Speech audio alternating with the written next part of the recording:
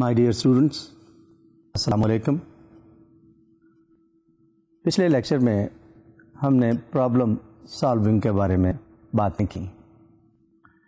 Today we are going to continue with that topic but with a focus on creativity. How do you generate original, new, innovative solutions to problems? This will be focus of today's lecture. Creativity एक ऐसी चीज़ है जो आप अपने अंदर develop कर सकते हैं। और मैं कोशिश करूँगा कि वो बातें आपको बता सकूँ, जिनके ज़रिए आप अपने अंदर क्रिएटिविटी पैदा कर सकें, वो स्किल्स पैदा कर सकें जिसके ज़रिए नए आइडियाज़ जनरेट होते हैं। नए नए सॉल्यूशंस जनरेट होते हैं। डिसीज़न मेकिंग का प्रोसेस इनोवेटिव हो जाता है। इन बातों को ज़रा गौर से सुनिएगा। आपको बाज़ात अंदाज़ा होगा कि शायद किसी जगह रेपिटेशन भी आपको नज़र आएगी, लेकिन वो repetition take it as as an emphasis और explaining a relationship of one concept with more than other concept इसलिए, अगर आपको नज़र आए कि ये रिलेशनशिप यहाँ पे भी है, इस कॉन्सेप्ट का, दूसरी जगह पे भी हो सकता है। क्रिएटिविटी अगर मैं आपको स्लाइड पे डेफिनेशन की दिखाऊँ, और साथ एक कोटेशन भी सुनाता हूँ कि how important it is regarding finding solutions to problems creativity actually is the ability to use imagination or power of mind to develop new and original ideas ये नए और ओरिजिनल आइडियाज़ पैदा करना ये एक काबिलियत है। ये एक आपके पास एबिलिटी कैपेबिलिटी होती है जिसको हम बिल्ड करने की आज कोशिश करेंगे। ये इस, इसकी इतनी अहमियत है कि एंडी लॉ एक एग्जेक्टिव था ब्रिटिश एडवर्टाइजिंग फर्म का, उसने कहा creativity can provide all the solutions to the complex problems of the workplace creative thinking is a positive generative force that uses imagination to power business अब अगर creativity और creativity की importance in business और in work place इसको देखें, ये जो मैंने अभी दो आपको इन ए वे एक डेफिनेशन और दूसरी कोटेशन एंडी लॉ की बताई।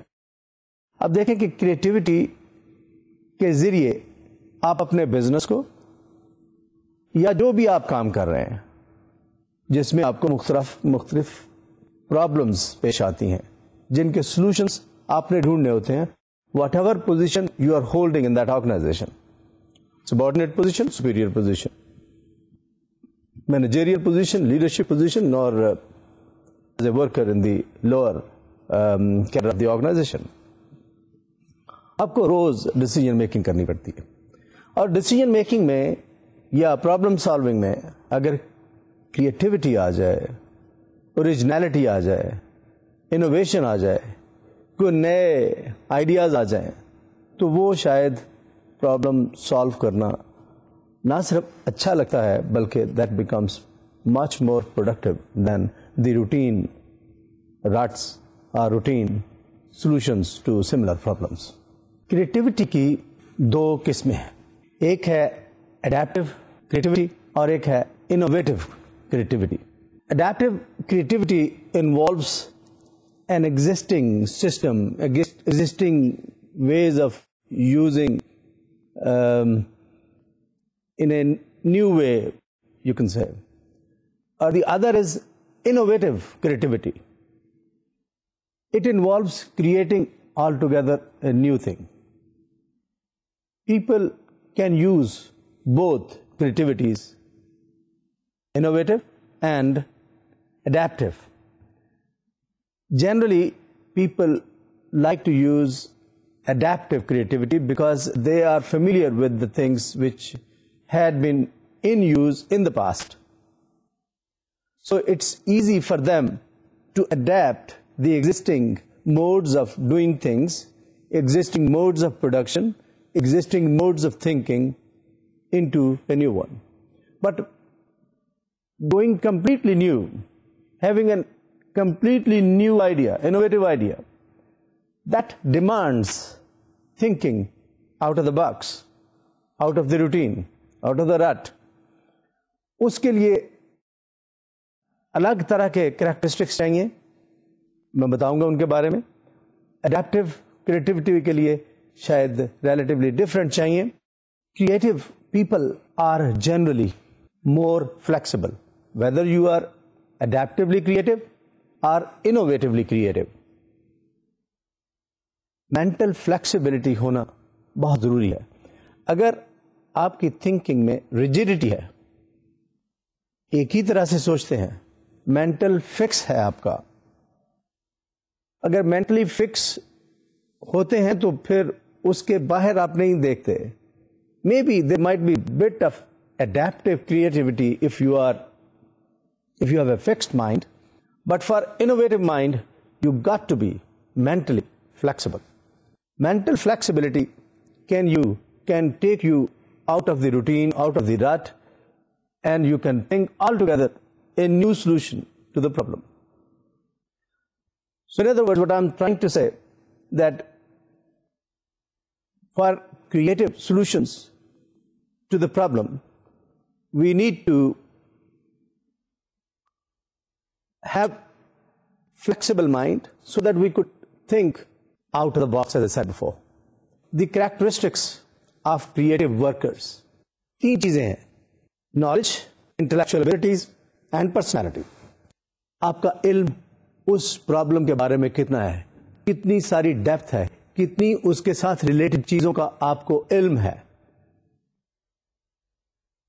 इसके साथ साथ आपकी अपनी फैकल्टीज माइंड की पावर कितनी है? माइंड कितना फ्लेक्सिबल है? माइंड किस हद तक सोच सकता है? इसके साथ साथ आपकी पर्सनालिटी किस तरह की है? क्या इमोशनल हैं? क्रिएटिव हैं? फ्लैक्सिबल हैं? रिजिड हैं? नए सॉल्यूशंस नई वैल्यूज़ को अडॉप्ट करने की हिम्मत है? Knowledge intellectual abilities and personality ये तीनों अपनी जगह इंपॉर्टेंट करेक्टरिस्टिक्स हैं ऑफ़ क्रिएटिव वर्कर्स और कुछ बातें मैंने इनके बारे में आपको बताई। लेकिन थोड़ा सा ज़ोर देना चाहूँगा इंटेलेक्चुअल एबिलिटीज पे, जो आपकी सोचने, समझने की सलाहियत है, वो कैसे बढ़ती है? जो इंटेलेक्चुअल एबिलिटी है ना, ये आपकी इनसाइट डेवलप करती है। आपके अंदर एक बिग पिक्चर बनाती है, किसी भी इश्यू के बारे में, किसी भी प्रॉब्लम के बारे में।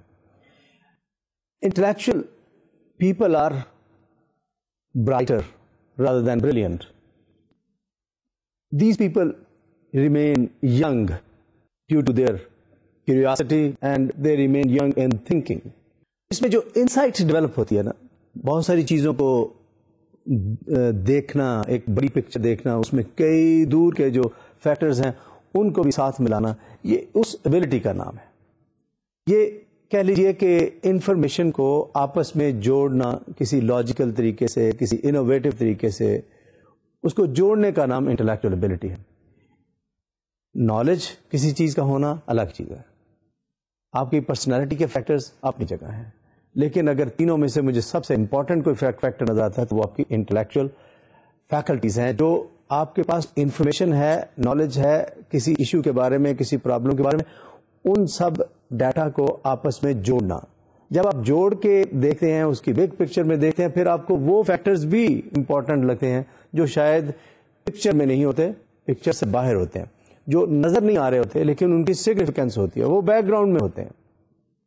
तो इसलिए ज़रूरी है कि ये आपके पास तीनों चीज़ें हों, लेकिन इंटेलेक्चुअल एबिलिटीज़ डेवलप करने के लिए आपकी मेमोरी में बहुत सारा बहुत सारा बहुत सारी इंफॉर्मेशन मौजूद रहनी चाहिए, और वो सारी इंफॉर्मेशन लिंक अप होके जब कोई सोल्यूशन ढूंढती है, जैसे मैंने पहले ज़िक्र किया अडेप्टिव क्रिएटिविटी का और इनोवेटिव क्रिएटिविटी का तो फिर ये चीज़ें इंटेलेक्चुअल एबिलिटीज उसके लिए ज़रूरी हैं whether you are adaptively creative और यू आर इनोवेटिवली क्रिएटिव अब मैं थोड़ी सी बातें आपसे करता हूँ, जो कंडीशंस चाहिए क्रिएटिविटी के लिए।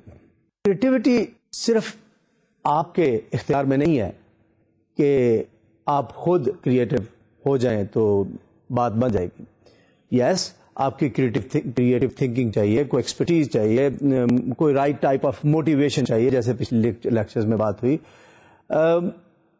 इल्म की बात है, ये बहुत सारी चीज़ें चाहिए। फ्लेक्सिबिलिटी चाहिए। लेकिन, अगर एनवायरमेंट एनकरेजिंग ना हो, जो factors outside of yourself हैं, वो सपोर्टिव ना हो तो भी बात नहीं बनेगी। इसलिए ये ज़रूरी है कि बाज़ात इर्द गिर्द के work environment organisational environment social environment और even your family itself it also influence your working तो ज़रूरी नहीं है कि अगर आपके अंदर जो नेसेसरी एबिलिटीज़ हैं क्रिएटिविटी की तो वो आप हैं तो ज़रूरी है कि आप क्रिएटिव सॉल्यूशंस ढूंढ सकेंगे। To various problems you are facing. It may not be so. It may not happen. उसकी वजह वो एनवायरमेंट हो सकते हैं जिनके ऊपर आपका कंट्रोल नहीं है इसलिए ये ज़रूरी है कि आपको सपोर्टिव एनवायरमेंट भी मिले एनकरेजमेंट मिले आपके अंदर पैशन हो इंट्रिंसिक मोटिवेशन हो, वो मोटिवेशन भी एनवायरमेंट इन्फ्लुएंस करते हैं राइट टाइप ऑफ़ मोटिवेशन चाहिए परसिस्टेंस चाहिए इसके लिए तो ये सारी चीज़ें जितनी देर तक नहीं होंगी, शायद क्रिएटिव सॉल्यूशंस नहीं ढूंढे जा सकेंगे। इन सारी चीज़ों को अगर जहन में रखते हुए हम क्रिएटिविटी की बात करें तो बेसिकली ये टोटल एनवायरनमेंट की बात है। टोटल एनवायरनमेंट में एक और चीज़ जिसकी अहमियत को लिटरेचर या किताबें ज़िक्र करती हैं, वो रिलैक्स माहौल है ऑर्गेनाइजेशन में या वर्क ग्रुप में जहाँ पे भी आप काम कर रहे हैं क्या ह्यूमर है कि नहीं है रिलैक्स करना ये अपनी जगह ज़रूरी बात है कि आप महसूस कर सकें कि आपकी जो लाइफ है वो कंफर्टेबल है आप जिन लोगों के साथ वक्त गुजार रहे हैं वर्क प्लेस पे या कहीं और वो अपनी जगह रोल प्ले करते हैं in terms of improving your creative skills. एक और चीज़ है जो क्रिएटिविटी में एट टाइम्स बहुत बड़ा इंपॉर्टेंट रोल प्ले करती है। उसका ज़िक्र करने से पहले थोड़ी सी बात एक और भी करता जाऊँ। Necessity is the mother of invention बाज बात कोई नेसेसिटी बन जाती है, ये हमने करना ही करना है। इसके बगैर हमारा चारा नहीं है। ये बिज़नेस तो बंद हो गया, फ़र्ज़ किया। अब कोई और बिज़नेस करना पड़ेगा, मजबूरी है। तो कैसे करें? जब वो आपके ऊपर प्रॉब्लम इंपोज हो जाती है यू डू फाइंड सोल्यूशन इसके साथ मिलती जुलती एक और चीज़ भी है, जिसको हम कहते हैं कॉन्फ्लिक्ट कि सर्वाइवल का मसला बंद है ना, अगर एज पे चले जाएँ, अब तो डू अडाई वाली बात है। अगर इस तरह की सिचुएशन आए तो बहुत सारी नई चीज़ें इन्वेंट हो जाती हैं। मैंने शायद पहले भी कभी ज़िक्र किया होगा कि जैसे वॉर है that's a form of conflict war में सर्वाइवल के लिए आप क्या कुछ दुनिया ने ईजाद नहीं किया, कौमों ने क्या कुछ ईजाद नहीं किया।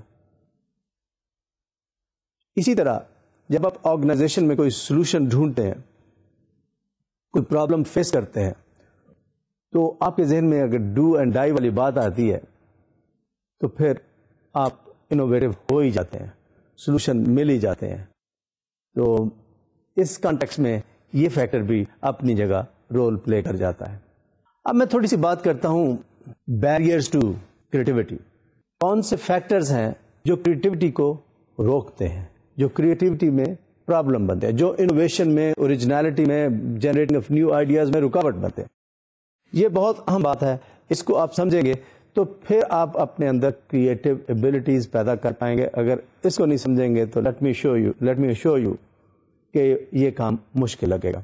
मैं आपको स्लाइड पे दिखाता हूँ कि कौन से चार फैक्टर्स हैं जो बेसिकली रोल प्ले करते हैं in terms of hindering the process of creativity in your mind ये चार चीज़ें perceptual emotional intellectual and environmental जिनका थोड़ा बहुत ज़िक्र मैंने पहले किया।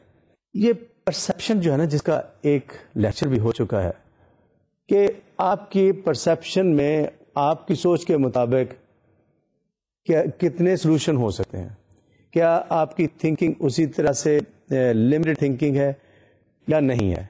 वो परसेप्शन जो है ना, वो आपकी क्रिएटिविटी को बहुत इन्फ्लुएंस करती है। अगर आपका विजन ब्रॉड है माइंड ब्रॉड है you can accept alternatives and different solutions तो फिर आप शायद उतने ज़्यादा रिजिड um, नहीं होंगे in terms of accepting new ideas और new solutions to the problem एक बात और होती है। At times you are emotional you are emotional about something नहीं इस, मैं तो इस कॉस्ट पे कोई काम नहीं करूँगा। ये जो है ना इमोशनैलिटी ये क्रिएटिविटी में प्रॉब्लम पैदा करती है emotionality gives you comfort I have emphasized the importance of emotionality in terms of your relationships with other people. Yes, keep that thing in mind. That emotions are necessary requirement for establishing good relations with people. And I do not want to undermine the importance of emotionality in, in relations. But when you are trying to solve a problem, compartmentalize yourself and detach maybe from people and then think about new solutions which are um, which are detached from your emotionality from your relations तो इसलिए दो चीजों को confuse मत कीजिएगा कि मैंने पहले किसी लेक्चर में इमोशनैलिटी की बड़ी अहमियत बताई और अब मैं उसको इन वे दूसरे तरीके से बता रहा हूँ, जिससे शायद ये इंप्रेशन मिले कि इमोशनैलिटी की शायद उतनी अहमियत नहीं है। ऐसा नहीं है।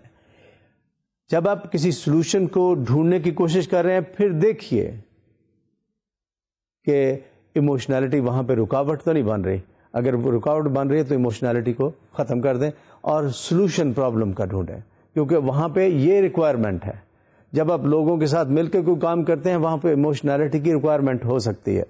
तो इसलिए ये चीज़ मेरी गौर से सुनिएगा नोट कीजिएगा कि इमोशनैलिटी की किसी जगह ज़रूरत है, किसी जगह ज़रूरत नहीं है। जब आप क्रिएटिव सोल्यूशन ढूंढ रहे हैं, इमोशनैलिटी की ज़रूरत नहीं है because it will become a hindrance और ए प्रॉब्लम इंटेलेक्चुअल फैक्टर की, मैंने अभी बातें की कि इंटेलेक्चुअल एबिलिटी कितनी अहम है।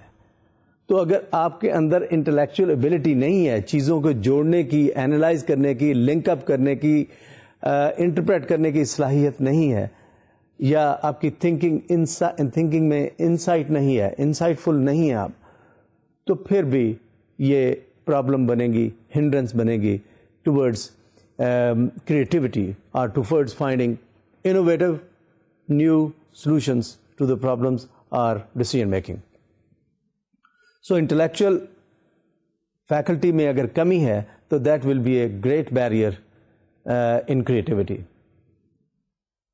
चौथी चीज़ जैसे मैंने पहले ज़िक्र किया एनवायरनमेंट आपके इर्द गिर्द किस तरह के हैं वो एनवायरनमेंट आपको क्या देते हैं एनकरेजमेंट देते हैं किस तरह का माहौल देते हैं, कितनी सपोर्ट देते हैं।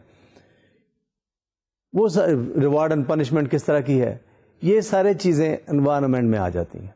और अगर आपके एनवायरनमेंट प्रोग्रेसिव हैं रिप्रेसिव नहीं है रिग्रेसिव नहीं है रिजिड नहीं है, बल्कि फ्लेक्सिबिलिटी को रिवार्ड करते हैं, नई चीज़ को रिवार्ड करते हैं, नए आइडियाज़ को रिवार्ड करते हैं तो वो एनवायरनमेंट भी बैरियर नहीं बनेंगे। लेकिन अगर वो इस तरह के हैं जिसमें रिप्रेशन है या जिसमें वो नई चीज़ को इनक्रेज नहीं करते तो वो एनवायरनमेंट भी क्रिएटिविटी को रोक सकते हैं।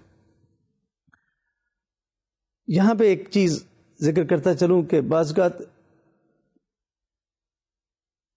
डिवर्जेंट व्यू पॉइंट्स हों।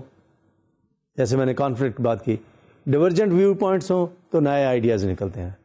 बाज़त कन्वर्जेंट व्यू पॉइंट्स हों तो तब भी नए आइडियाज़ निकलते हैं।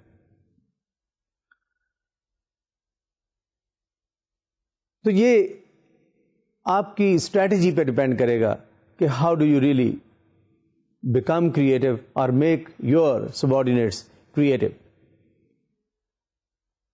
एक कॉन्सेप्ट आपने सुना होगा लॉजिक का। लॉजिक जो है ना, या रैशनैलिटी जनरली ये क्रिएटिविटी को रोकती है। अगर आपके अंदर जहन में परसेप्शन में किसी जगह लॉजिक की रैशनैलिटी की बहुत ज़्यादा अहमियत है, और आप उस रैशनल वे में रैशनल फ्रेम में ही देखते हैं, सोचते हैं तो फिर भी आप क्रिएटिव सॉल्यूशंस नहीं ढूंढ सकेंगे so to unlock creativity you need to keep the logic rationality at a distance I am not not be part of your thinking when you are uh, finding solutions to problems creatively. I'm not saying that. There should be a balance between logic and creativity, logic and new things. Rationality and new things इन दोनों का balance रहेगा तो शायद बेहतर solutions ढूंढे जा सकेंगे। अभी मैं थोड़े से आपके साथ स्टेप्स कह लीजिए टिप्स कह लीजिए, या वो प्रोसीजर्स कह लीजिए जिनके ज़रिए क्रिएटिव सॉल्यूशंस ढूंढे जाते हैं। और इसके बाद मैं कुछ पॉइंट्स आपसे शेयर करूँगा जिनके ज़रिए you could improve creativity of yours or creative skills of yours. Generally जब कोई प्रॉब्लम आपके सामने आती है you take a narrow view of the problem और ये जो नैरो व्यू है प्रॉब्लम का, ये आपको उस बॉक्स में ही सोचने पे मजबूर करता है, जिसमें आप नैरोली देख रहे हैं इसके लिए ज़रूरी है कि उस प्रॉब्लम को मुख्तलिफ़ एंगल से देखिए। उस प्रॉब्लम को मुख्तलिफ़ तरीके से रीफ्रेज कीजिए रीफ्रेम कीजिए। पाँच दफ़ा, चार दफ़ा, छह दफ़ा उसको डिफाइन कीजिए प्रॉब्लम को। Share that problem with others with experts with lay people get a feedback when you are telling others listen to yourself as well जब आप इस तरह का काम करेंगे तो उसके, उस प्रॉब्लम के कई एंगल आपको नज़र आएँगे।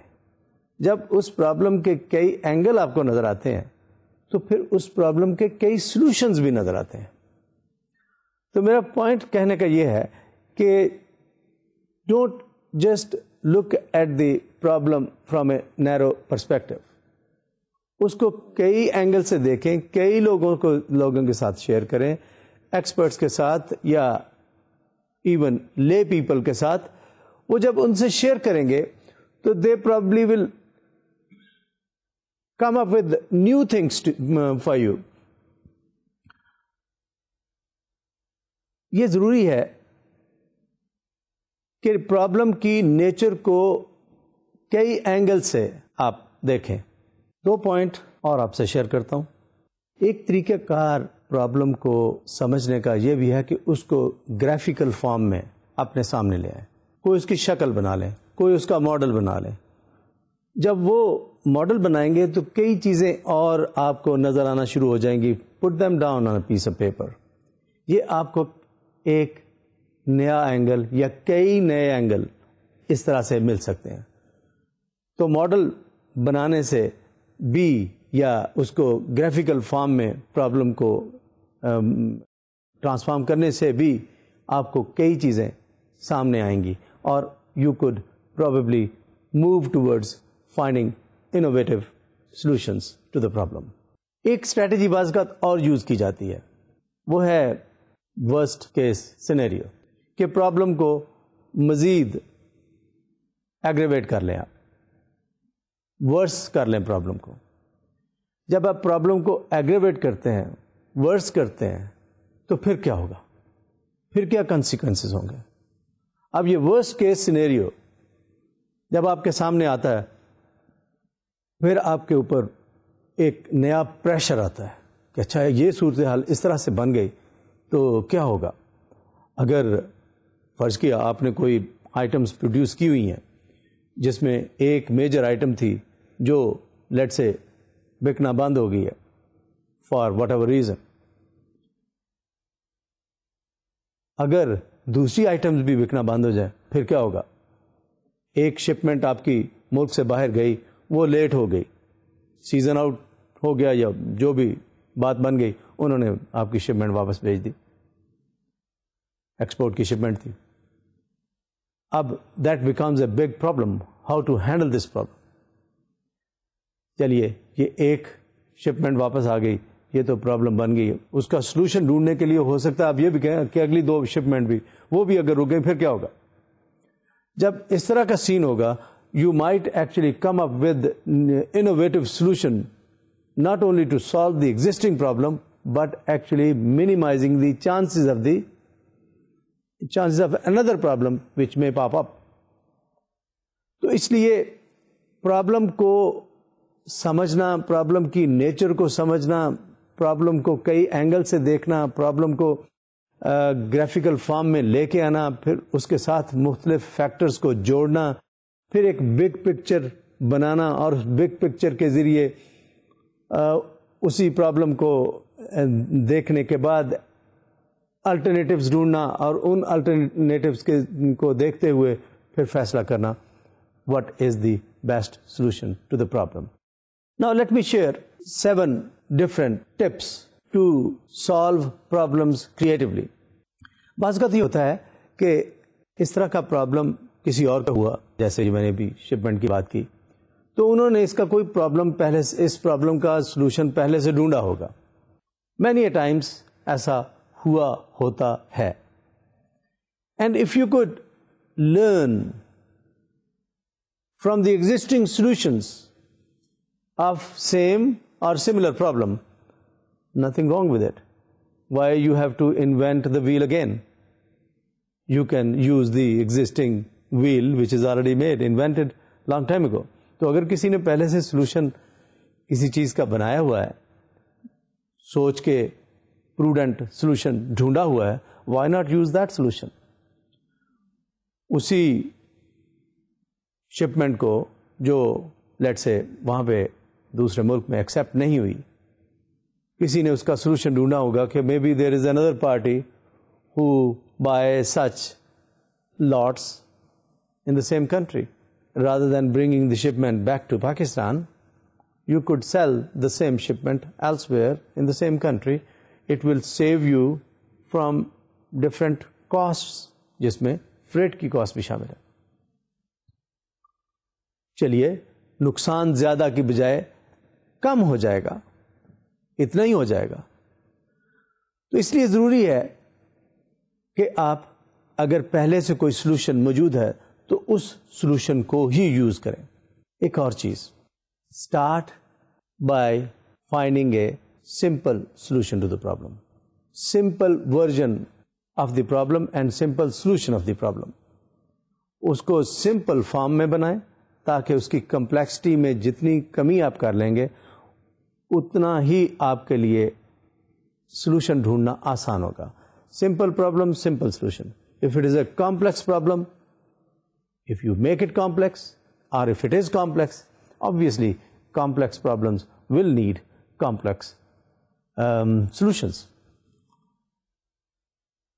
सीधी बात है अगर आपकी shipment has been refused by the importer in another country तो वो वो जो शिपमेंट आपकी रिफ्यूज तो होगी rather than getting into negotiation negotiations unnecessarily आपको पता चल गया थे कि भाई उसने इसको एक्सेप्ट नहीं करना। मे बी सीज़न आउट हो गया है, या उनकी जिस तरह से डिस्प्ले होना था, वो डिस्प्ले होने का टाइम गुजर गया है। अब उसमें उनके लिए वो शिपमेंट इंपॉर्टेंट नहीं रही, क्योंकि उन्होंने कोई कैंपेन चलानी थी, कोई एडवर्टाइजिंग कैंपेन चलनी थी जिसमें उसने शामिल होना था, वो एडवर्टाइजिंग कैंपेन एक सीज़न पे शुरू होती है लेट से जस्ट बिफोर क्रिसमस और समथिंग तो वो अगर उस स्टेज पे नहीं पहुँची, उस टाइम पे नहीं पहुँची तो वो उनकी एडवर्टाइजिंग कैंपेन चल गई, खत्म हो गई। अब वो आपकी शिपमेंट एक्सेप्ट नहीं करेंगे।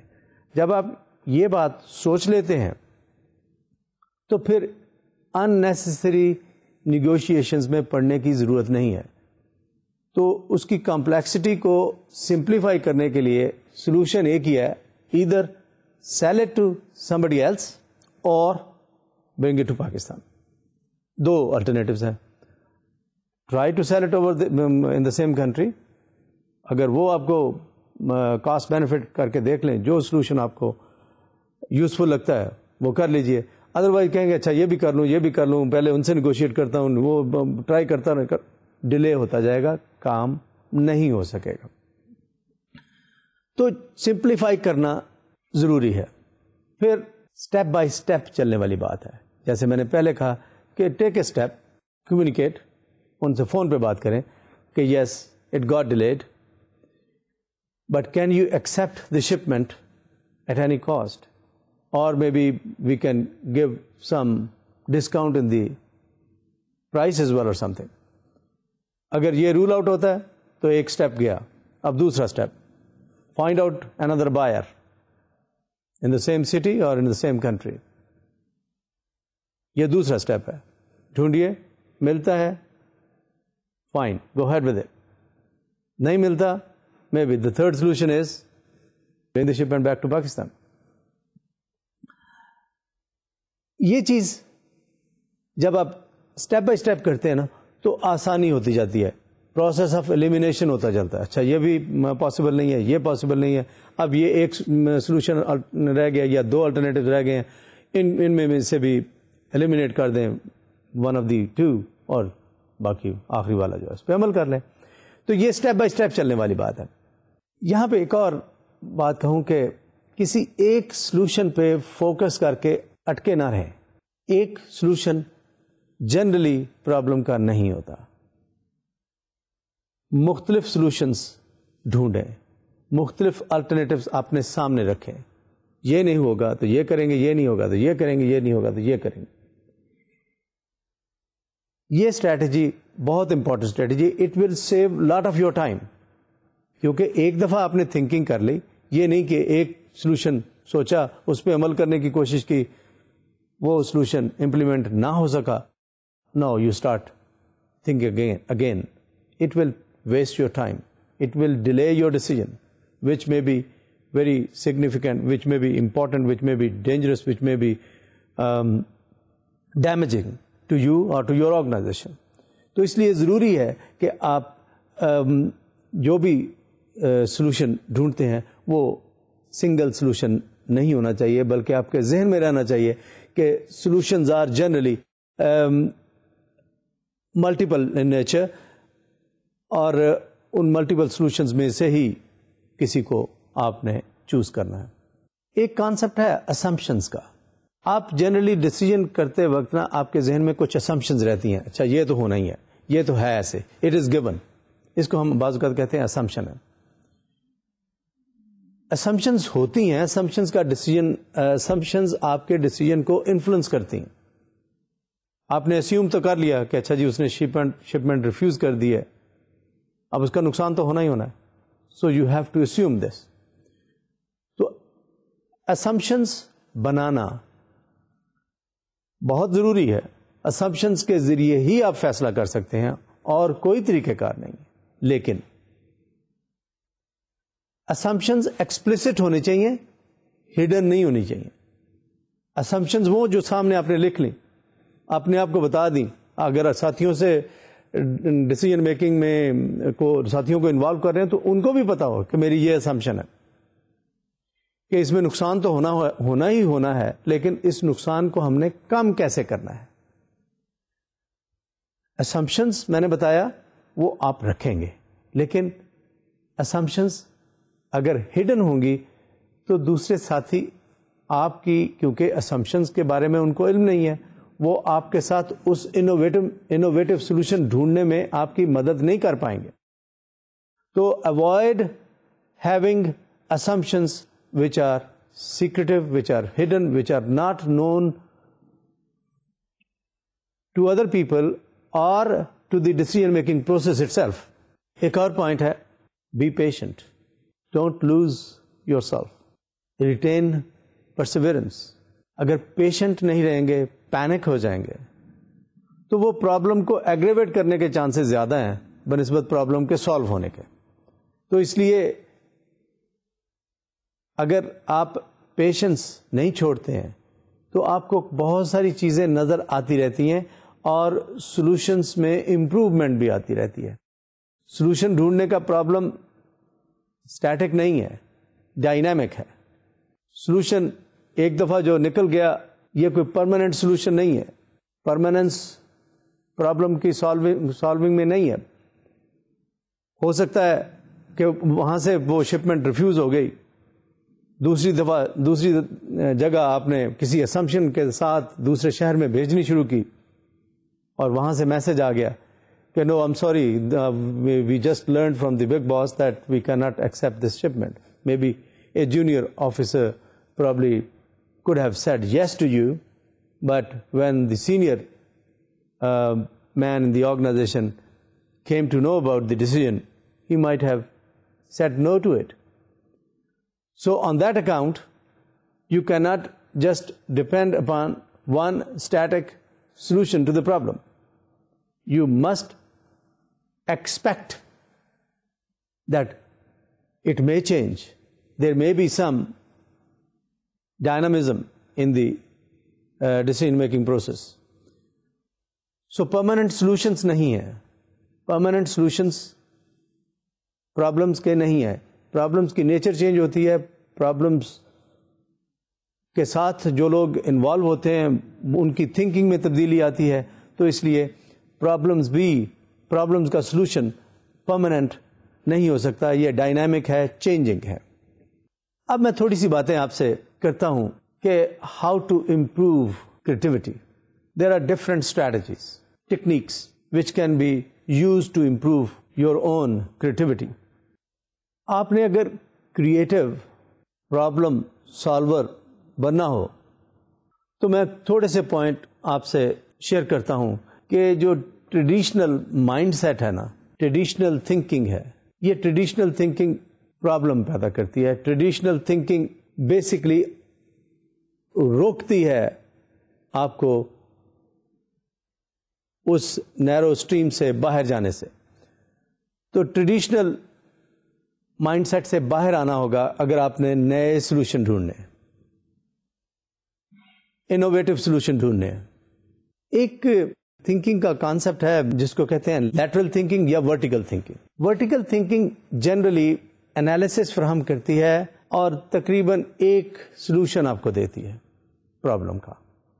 कि आप उस प्रॉब्लम के ऊपर बिल्ड करते रहते हैं या नीचे की तरफ़ आते रहते हैं और वर्टिकली सोचते रहते हैं कि ये प्रॉब्लम कहाँ से आई है। और जब आप वर्टिकल सोचते हैं तो उस प्रॉब्लम को के सोर्स तक पहुँच जाते हैं। जब उस प्रॉब्लम के सोर्स तक पहुँचते हैं तो आप कहते हैं अच्छा यही मसला था असल में। और इस मसले को हल कर देंगे तो प्रॉब्लम सॉल्व हो जाएगी। Let me tell you this is not actually the right way to do it क्योंकि vertical thinking will give you one of the problem and maybe one solution of the problem on the other hand if you are a lateral thinker आप इस तरीके से सोचते हैं इधर से भी चीज़ें आ सकती हैं, सिर्फ़ यहाँ से नहीं आती हैं। तो जब आप लैटरल सोचते हैं तो आपको कई डायमेंशन प्रॉब्लम की नज़र आती हैं। जब आपको कई डायमेंशन नज़र आती हैं या कई उसके फेसेट्स नज़र आते हैं तो फिर उसके सोल्यूशंस भी कई आपको नज़र आते हैं। फिर एक सोल्यूशन नज़र नहीं आता। तो आपकी थिंकिंग में, मेरे ख्याल में कुछ डिसिप्लिन आना चाहिए। वर्टिकल भी सोचें, लेकिन फोकस ऑन लैटरल थिंकिंग कि कौन सी डायमेंशन हैं जो इसके साथ मिली हुई हैं laterally you will probably come up with multiple solutions इस लैटरल थिंकिंग को डेवलप करने के लिए आपके साथ एक दो पॉइंट्स शेयर करता हूँ। क्योंकि वर्टिकल थिंकिंग में शायद आप बेहतर सोच के किसी जगह पहुँच जाएँगे, लेकिन क्योंकि आपका माइंडसेट एक तरह का है तो लेटरल थिंकिंग ज़्यादा मुश्किल हो जाती है। तो लेटरल थिंकिंग को डेवलप करने के लिए ब्रेन स्टॉमिंग सेशंस एडवाइस किए जाते हैं। Have a group of people to discuss the problem जैसे बहुत सारी ऑर्गेनाइजेशन में होता है को, कोई प्रॉब्लम हुई सीनियर मैनेजमेंट बैठ जाती है कि अच्छा जी we are facing this problem that that the shipment has been refuse by by the importer overseas तो क्या करें? No different people will come with different dimensions of the problem and different solutions of the problem and most of them are going to be lateral in nature rather than vertical in nature तो इस तरह के brain storming sessions जो है ना वो अगर आप कर सकेंगे तो मेरे ख्याल में आपको नए ideas new solutions to the problem मिलेंगे एक चीज़ जो यहाँ से मिलेगी कि भाई जब आप ब्रेन स्टॉमिंग कर रहे हैं तो ज़रूरी नहीं कि यहीं से आपने बोरो करने हैं creative ideas you can borrow creative ideas from elsewhere आजकल तो नए नए इनोवेटिव तरीके ब्रेन स्टॉमिंग के भी निकल आए हैं brainstorming, you can do it electronically. People are sitting in different parts of the world and they are in teleconference. They are doing it through email system. They can do it uh, with other uh, electronic means.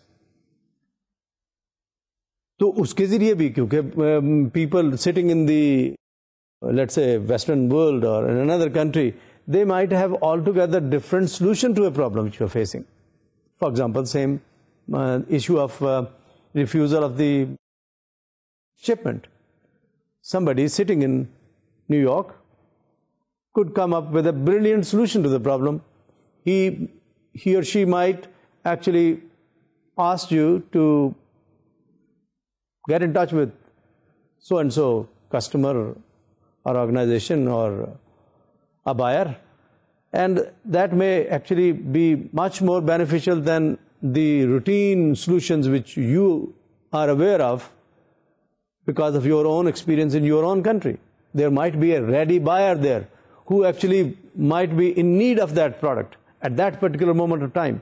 And he, he or she will be happy to have that thing readily available. So it is a good idea to have maybe a brainstorming session with other people or communicate with other people electronically, discuss the problem, and you might come across with um, useful solutions, with new solutions, innovative solutions to the problem. तो ये ज़रूरी है कि आप um, अपने तक ना रखें या अपनी ऑर्गेनाइजेशन तक ना रखें um, बाहर भी बात जा सकती है।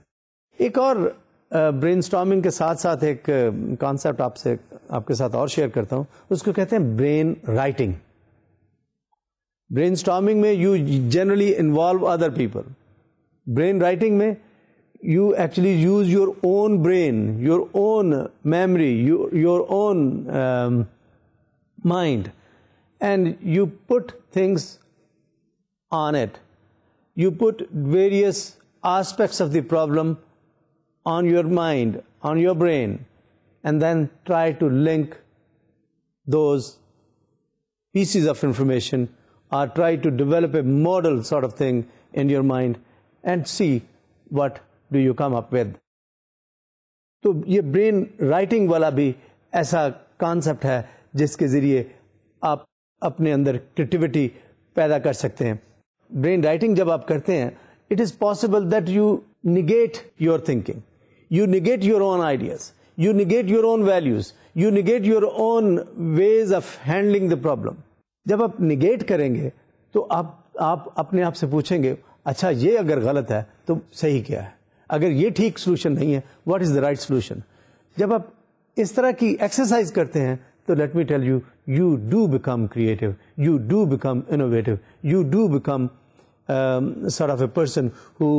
uh, who is not um, confined with one alternative or one solution to the problem. Rather, you will come up with new solutions to the problem.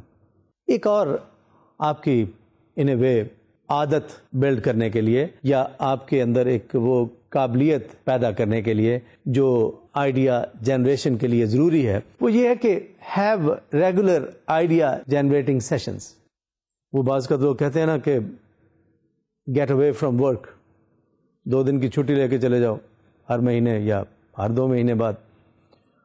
And reflect on what whatever you had been doing और जब आप reflect करते हैं तो आपको शायद नई चीज़ें नज़र आती हैं। वो बिग पिक्चर वाली बात नज़र आती है। आप कहते हैं अच्छा मैंने ये किया था, ये हुआ था, ये करना चाहिए था, ये करता तो ये होता। वो जब नए आइडियाज़ बनाने के लिए आप रेगुलर सेशंस लेते हैं ना तो आपके माइंड की एक्सरसाइज होती रहती है। जब वो एक्सरसाइज होती है तो आपको नए आइडियाज़ जनरेट करने की स्किल्स आप खुद डेवलप कर लेते हैं। तो अगर आप इस तरह से सेशंस करेंगे तो मैं यकीन से कहता हूँ कि आपकी जो सोचने, समझने की सलाहियत है, जिसको मैंने पहले नाम इंटेलेक्चुअल एबिलिटी का नाम दिया, वो आपकी इंटेलेक्चुअल एबिलिटी या इनसाइटफुलनेस ये बढ़ जाएगी। इसके बाद एक पॉइंट आपसे और शेयर करता हूँ कि जो काम आप करते हैं ना, जैसे मैंने रिफ्लेक्शन की बात की रिफ्लेक्ट करें। Sometimes explore things from different angles और वेज बिकम ए जज become a lawyer to negotiate यानी रोल प्लेइंग करें कि अच्छा मैं अगर इस पोजीशन में हूँ, जहाँ पे मुझे ये प्रॉब्लम है तो मैंने ये सोल्यूशन ढूँढने की कोशिश की। अगर इस जगह पे कोई और होता, फिर क्या होता? है अगर मैं, मैंने ये सोल्यूशन ढूंढा, इस मुझे कितनी, कितना इसका रिवार्ड मिला, कितनी इसकी पनिशमेंट मिली? क्या मेरे साथ हुआ, क्या नहीं हुआ? जब आप इस मुख्तलिफ़ प्रॉब्लम्स को, मुख्तलिफ़ अपने आप को रोल्स दे के उन पे गौर करते हैं तो आपको चीज़ें मुख्तलिफ़ तरीके से नज़र आती हैं। जैसे मैंने कहा कि make a judgment make your own judgment on your own decisions in the past अगर आप दूसरे साथी की बजाय आप निगोशिएटिंग टेबल पे होते फिर क्या होता? जिस तरीके से आप निगो, आपने निगोशिएशन की regarding the shipment which was refused क्या ये टेक्निक यूज़ ना की जाती कोई और यूज़ की जाती फिर क्या रिज़ल्ट होता? ये क्या ये क्या मैं बता रहा हूँ? ये बेसिकली वो चीज़ें आपको बता रहा हूँ जो आपकी आइडिया जनरेशन की कैपेसिटी बनाने के लिए हैं। अगर मैं इन सारी बातों को अपने जहन में रख के एक बिग पिक्चर बनाने की कोशिश करूँ कि आज मैंने आपको क्या मैसेज दिया तो मैंने मैसेज आपको ये दिया है कि क्रिएटिव सॉल्यूशंस ढूंढना कामयाबी की तरफ़ लेके जाता है। क्रिएटिव सॉल्यूशंस क्या होते हैं? वो क्रिएटिव सॉल्यूशंस वो सॉल्यूशन जो पहले से उस तरह के प्रॉब्लम के लिए नहीं ढूंढे गए थे, बल्कि नए सॉल्यूशंस हैं। वो फिर मैंने बताया था कि अडेप्टिव क्रिएटिव हो क्रिएटिविटी हो सकती है, यानी you can find solutions using the existing ways of thinking about that problem और you could have completely new way of thinking जैसे मैंने कहा कि rather than focusing on indigenous solutions to the problem you could talk to the people across cultures in different countries आजकल तो क्योंकि ये आसान हो गया ना बहुत सारे लोग आज भी इलेक्ट्रॉनिक रिसोर्सेज uh, को उतना यूज़ नहीं करते जितना uh, शायद आज पॉसिबल है because it is virtually free कभी सोचा था कि एक ज़माने में साठ रुपए, चंद साल पहले साठ रुपए मिनट था। लेट से या सत्तर रुपए, अस्सी रुपए मिनट था ओवरसीज़ कई मुल्कों में कॉल करना। और आज दो रुपए मिनट है। सिमिलरली अगर आप उसी माइंडसेट के साथ सोच रहे हैं, जिस माइंडसेट में आप पहले सोल्यूशन ढूंढते थे, आज हो सकता है वो स्प्लिट सेकंड में डिसीज़न हो जाए, क्योंकि वहाँ पे रेडी बायर कोई मौजूद हो। तो अगर ये क्रिएटिविटी आपके अंदर नहीं होगी जिसकी आज कल बहुत ज़्यादा ज़रूरत है तो शायद बहुत सारे प्रॉब्लम्स आपके साथ रहेंगे और उनके सोल्यूशन शायद नहीं मिल सके and you might end up failing in business with these words I would like to say goodbye to you and I wish you that you uh, learn from these lectures and sessions and I hope um, your work life and your personal life improves through um, acquiring skills about human relations through this um, human relations course. Thank you so much. Khuda Hafiz.